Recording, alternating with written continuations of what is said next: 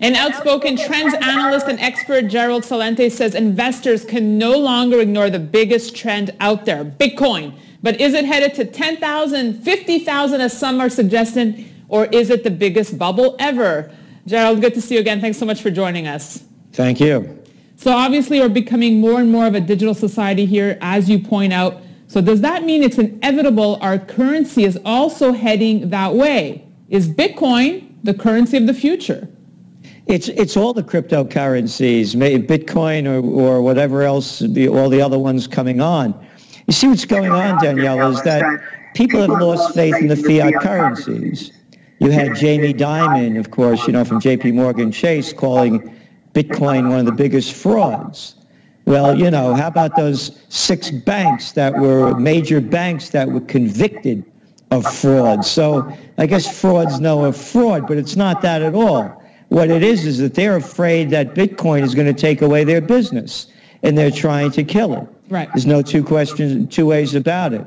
And what's very important to look at is what's going on in China.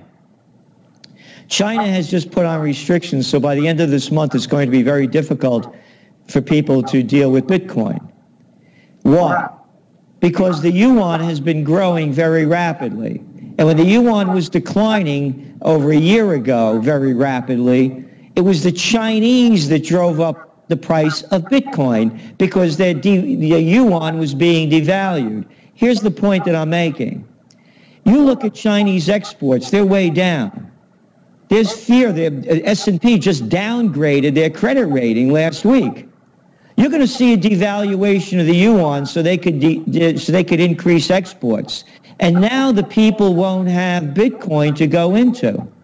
So on a whole nother level, where are they going to go? They may go into gold.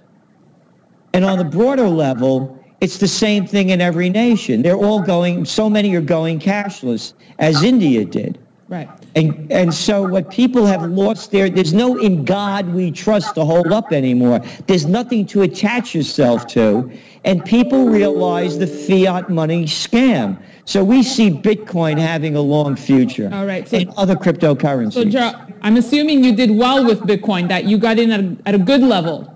I never bought it. really, from the way gold. you speak, I would think that you've had such success with Bitcoin. No, no, I don't own any of it. All right. You well, know, there's, you know, again, I'm a trend forecaster. I, I, I, I don't give financial advice. There's the downside to it too. You know, I have investment money. I invest in different things. I rather invest in a tangible. So I invest in gold. Right.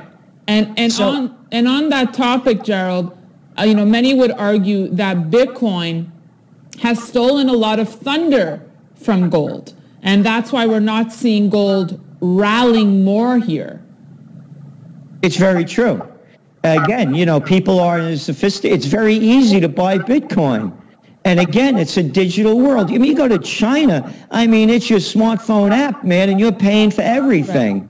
So that's very simple like that. But as I mentioned, now with governments, and that's the biggest down, uh, the, the biggest downside of cryptocurrencies, Governments could change it like that, just like they did in China. So where are people going to put their money as their currency is being devalued?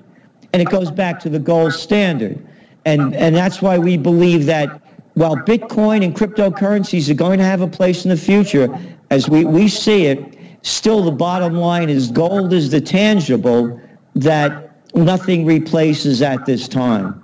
And what do you think in terms of forecasts for, for Bitcoin? You know, I've, I've never seen anything polarize investors so much so, you know, some either love it or either love to hate it. Some are calling for $40,000 Bitcoin while others are expecting it to fizzle away, saying it's the biggest bubble ever. So where does Gerald stand on the spectrum? We don't believe it's going to go away. We don't know the price, but the price shot up too quickly as we see it. You know, again, it, it, people forget it really grew when the yuan was declining. And now it's only about 15% of Chinese. And it's very important, too. The banksters are going to continue to talk it down because it makes banking obsolete. Mm-hmm. And the bankster's obsolete. So they're going to do everything they can to stop it. And when you, and again, you, you listen to the words of Jamie Dimon and he brags that it's central banks that give, give fiat currencies, uh, uh, excuse me, that give yeah, give fiat currencies their standard. Central banks, a bunch of private banks. You know what? What, cur- what currency is that? So there's going to continue to be a fight between the banksters. And by the way, what Bitcoin also represents is the populist movements that are springing up throughout the world. People don't want to be attached to crooked governments and central banks. All right, Gerald, let's wrap with your forecast for gold now. No, you're obviously a big advocate of the yellow metal. Where's it headed for you right now? Well, again, it's our same forecast, Daniela, we've been saying now for about two years. Gold has to break strongly above 1400 for it to gain more strength. And when it does, and I'm talking 1460, 1480, 1450, 1470, we see it skyrocketing to 2000. But it has to break above that point. And again, of course, there's now there's concern about rising interest rates, but interest rates really aren't rising that much. When you put in for inflation over the last 10 years and how few times they raised interest rates, they're still near zero when you really put it into it. So it's not going to have that much of an effect on it.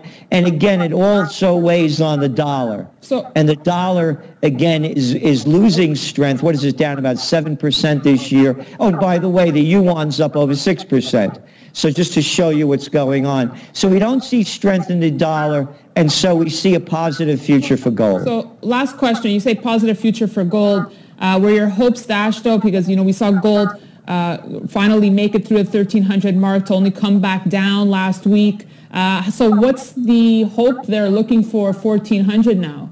Well, again, you know, it's going to take time. And, and by the way, also important, uh, we don't believe when there's a geopolitical crisis and people jump into it that that's sustainable unless, of course, it's a world war, you know, and then, you know, you could kiss your gold goodbye anyway. But the, the, so again, short term, we're in the range that we are now. And when panic breaks out again because of the bubbles that are going to burst, whether it's in China with their debt to GDP ratio at 300, or the central banks trying to figure out how to unwind this $16 trillion worth of debt just in six central banks that they have to unwind, you're going to start seeing a lot of problems arise. So when those kind of problems start really sparking up again, that's when we see gold moving up. Right now, we see it in the range that it is. All right, Gerald, I always appreciate the enthusiasm. Thank you so much for joining us.